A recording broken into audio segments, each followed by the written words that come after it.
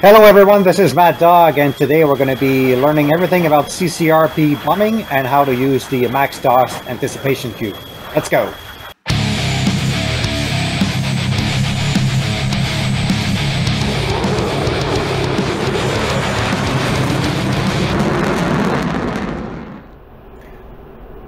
So first things first, master arm arm, master mode air to ground, we can select the uh, bombing mode CCRP through the OSB here on the uh, right MFD, or we can also use the um, missile step button on the uh, control stick of the F-16, which is this uh, command right here. We can also select a pair of bombs. Here we go. All right, let's take a look at what we have in the uh, heads-up display. First, in the center here is the uh, target designator box, which is currently set on a uh, on a hangar on an airport. The uh, long vertical line is the azimuth steering line. This is the line we need to uh, put in the center of our uh, flight path vector to have a precise bomb impact. Bottom left, we have CCRP. It's just a repeat of the air-to-ground mode selected.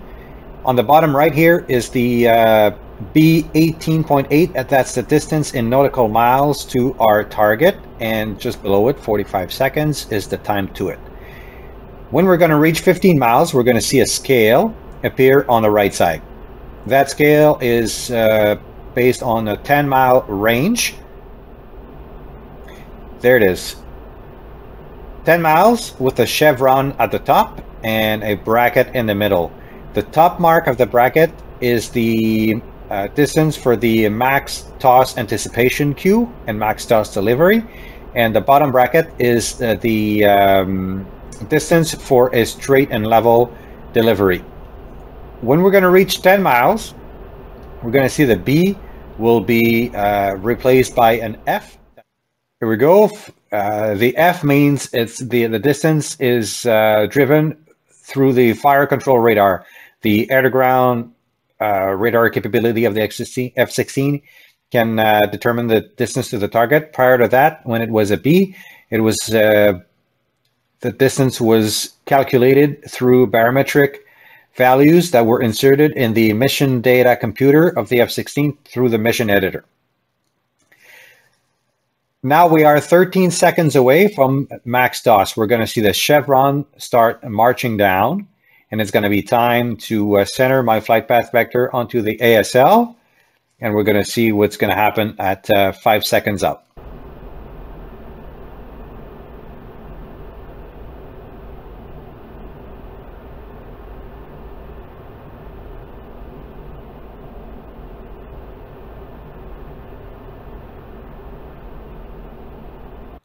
Five seconds out, we got two horizontal bars that just showed up. First one is the um, release cue.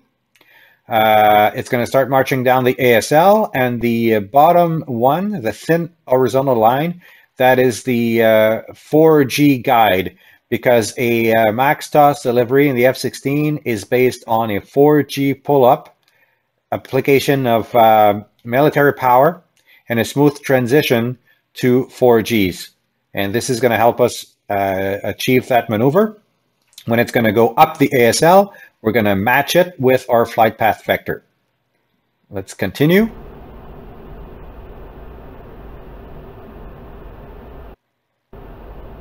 Two seconds out, we have the uh, big circle that appears. That is the uh, max toss anticipation cue.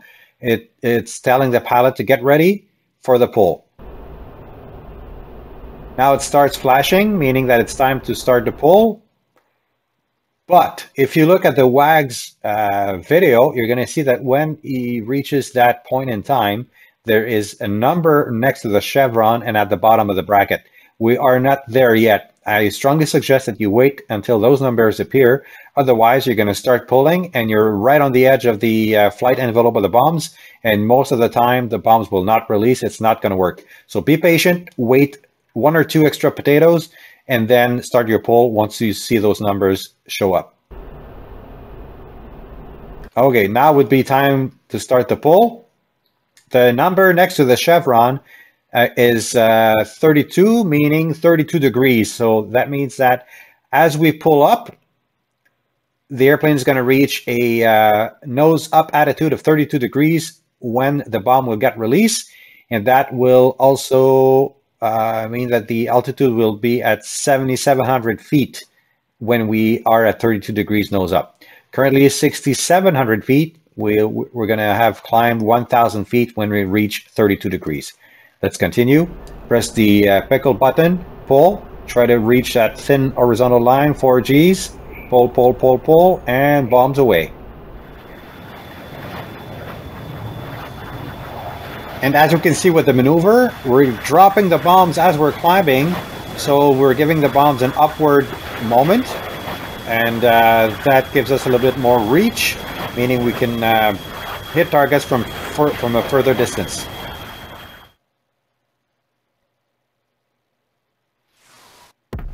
Right on target, not bad. Next, we're going to use the uh, A50 there on the ramp to do a straight and level CCRP attack. Now, since we have a uh, waypoint near the uh, aircraft, the A-50, we can slew the target box onto it, and then we can proceed with the attack.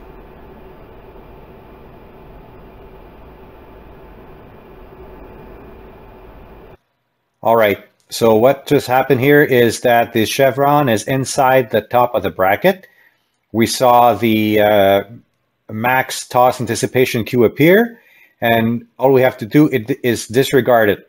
A second countdown has started, and this countdown, currently at 16 seconds, is for a straight and level uh, attack. So that is what we're going to do. Same principle applies. We fly the flight path vector right on the ASL line, and we wait for the release cue to come down and uh, we can hold the pickle button anytime uh, in between and the bomb is going to release when the uh, release cue intersects with the flight path vector.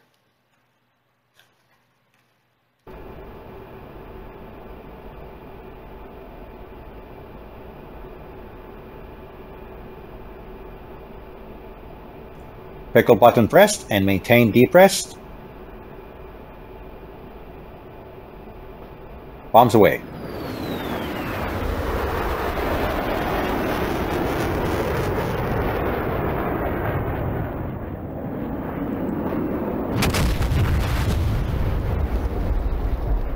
Okay, one last example where we're going to hit a uh, the control tower of the airport, and uh, this time with uh, no pausing, so you can see all the symbology happen all at once.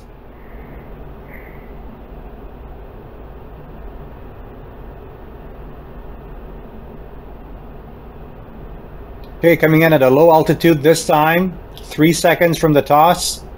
Big circle appears. Starts flashing. Wait, look at the bracket. Numbers. Here we go. Pull up. Press the and hold the weapon release button. Go for 4 Gs. And bombs away.